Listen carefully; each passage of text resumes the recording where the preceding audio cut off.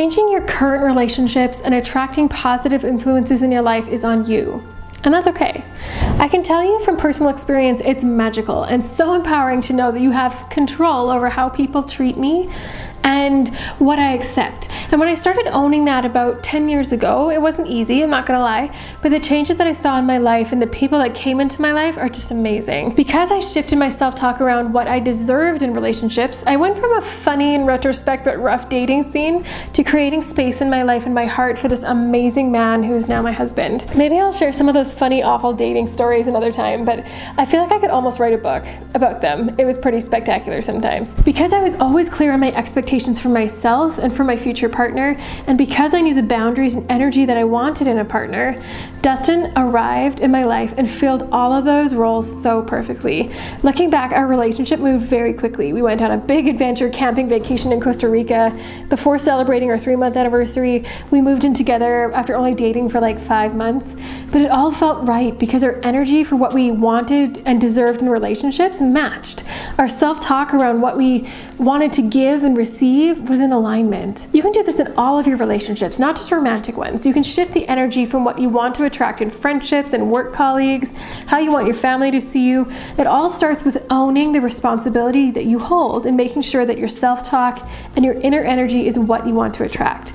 So take a moment right now to own that with me and own the responsibility for that. This is an exciting and beautiful moment because this is your chance to change your life and your relationships dramatically. And don't worry, I've got a step by step process to help you through it. Number one, create alignment with your self talk and expectations. First, take a moment to think of what you specifically want in a relationship. If this is coming up with a blank or abstract ideas like, I wanted them to be nice to me, start thinking about what you don't want. I think you don't want to feel ignored. Probably a safe bet. You want to feel respected. And what does it look like for you to be respected? Take some time and really think that out. And then look at your self talk patterns. Are you treating yourself in the same way that you want to be treated? Or are you treating yourself in the way that you don't want to be treated? If you're ignoring your own needs and not listening to your body and what it's asking for, that's the energy you're sending out. And that's what you're asking the universe to send more of. You're also showing other people in your life how to treat you, to ignore your needs and know that you'll just drop everything for them. The first step is going to be a little bit tough and this might make you sad, but with all things, awareness is the first step. So you need to notice the similarities between your self-talk patterns and how people are treating you right now. Step number two is to learn how to prioritize yourself and set healthy boundaries. So remember, every time you say yes to helping someone else out, you're saying no to something else. And often you're saying no to yourself and saying no to cooking a healthy meal at home or saying no to exercising that day or doing that self-care, the meditation or yoga or whatever it is. Every single time you say yes to something, you're saying no to something else. And the other way too, every time you say no, you're saying yes to something else. That's just the way it works. And by slowing yourself down when you're deciding whether to say yes or no, you're giving yourself the chance to think about what the opposite is. So ask yourself, if I say yes to this, what am I saying no to? Beautiful soul, you should be on the top of your priority list. And before you think it, no, that's not being selfish. When you're strong, balanced with low stress and you're taking good care of yourself, you're gonna be able to give so much more energy to the people around you. So sure, you may have to say no to helping a friend out at that time because you're gonna prioritize getting out for a walk going to the gym. But when you pick a time that works for both of you, you're going to be able to show up as your best self for them.